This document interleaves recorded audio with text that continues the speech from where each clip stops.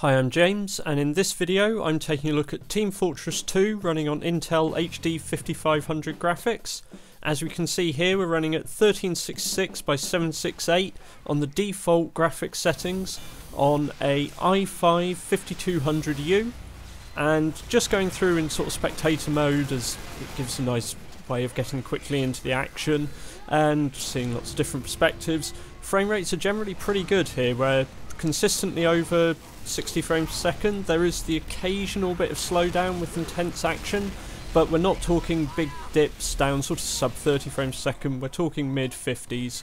So when you're playing this, you should still be able to react quickly, um, and you shouldn't have major disadvantage against competitors.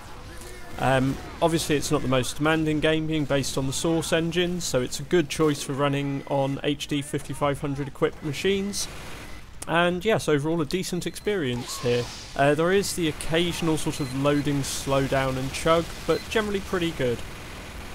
I hope you've uh, found this video useful, and be sure to check out the rest of the content on our channel uh, for more on HD 5500 and Team Fortress 2 running on other Ultrabook chips.